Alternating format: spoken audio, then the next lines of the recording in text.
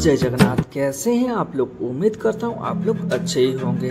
दोस्तों, आज के इस वीडियो पे हम एक रहस्यमय मंदिर के बारे में जानेंगे। तो दोस्तों, देर किस बात का? चलो वीडियो शुरू करते हैं। हमारा देश कितना प्राचीन है। इस बात का पता कैसे चलता है? इस बात का पता चलता है कि यहाँ के प्राचीन मंदिर, ऐतिहासिक इमारत और उनके वास्तुकला को लेकर। हमारा देश भारत में ऐसे कई सारे भव्य मंदिर है, जो कि बहुत ही लोकप्रिय है। इसी तरह आज के इस एपिसोड पे हम ऐसा एक मंदिर के बारे में जानेंगे, जो कि आंध्र प्रदेश के अनंतपुर जिला पे स्थित है, जिसी का नाम है लेपाक्षी मंदिर। ये मंदिर वर्ल्ड हेरिटेज पे भी नाम पे दर्ज किया गया है। ये मंदिर खास तौर पर झूलता हुआ पिलर के लिए भी दुनिया भर में जाना जाता है। इसी मंदिर को यहाँ के लोग रामायण काल से जुड़ के बात करते हैं। इसी मंदिर को जाते ही एक हज़ार साल पुराना नागलिंग देखने के लिए भी मिलेगा। इसी मंदिर को दक्षिण भारत में ज़्यादा मानते हैं। क्योंकि इसी मंदिर का पौराणिक कथा और इतिहास के वजह से यह मंदिर जिस बात पर टिका है, वो है रामायण काल से जुड़ा है। कहते हैं, जब रावण माता सीता को अपहरण करके ले जा रहा था, तभी पक्षियों के राजा जटायु इसी जगह पर रावण का रास्ता रोके थे। और यही वो जगह जहाँ पर रावण और जटायु के बीच युद्ध हुआ था और जटायु घायल होकर गिरे पड़े थे।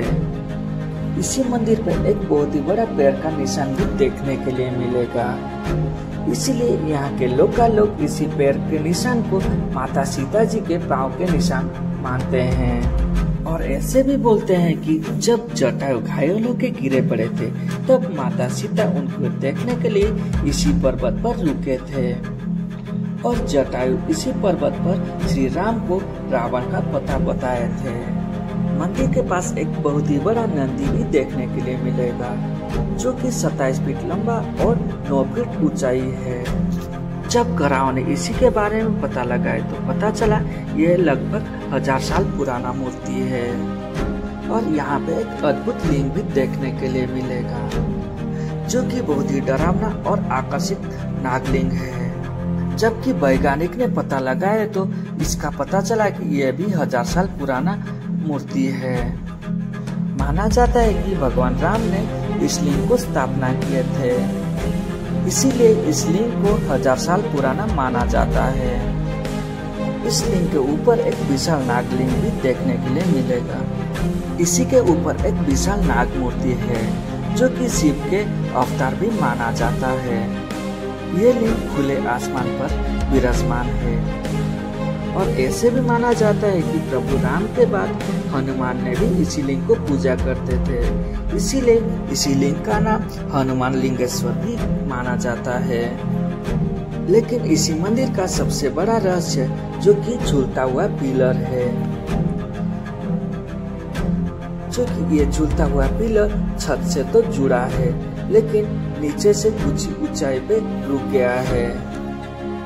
अंग्रेज़ के हुकूमत के दौर पर इसी मंदिर का रहस्य और झूलता हुआ पिलर के रहस्य जानने के लिए ब्रिटिश इंजीनियर हेमिंगटन ने इसी मंदिर का रहस्य को पता लगाने के लिए कोशिश किए थे और इन्हीं रहस्य को लेकर वापस भी चले गए थे।